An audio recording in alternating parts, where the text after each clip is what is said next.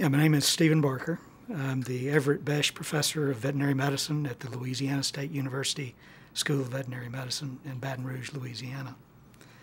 I got interested in this, this field uh, back when I was a uh, undergraduate student at University of Alabama in Birmingham. I had a class with a, a Professor Fred Benington, who was a chemist uh, in the neurosciences program in the Department of Psychiatry at UAB. The class was on natural products. And one of the natural products that he talked about uh, were the hallucinogens, compounds that are naturally synthesized in plant materials. One of those was DMT.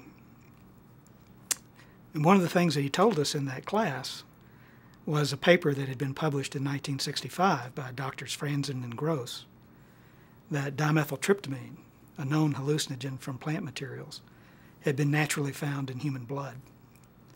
And that set off uh, a number of areas in my own brain as to explanations for perhaps creativity, imagination, dream states, uh, near death experiences, and a variety of other uh, fantastic phenomena you know, that people have reported throughout history that could be classified as hallucinations.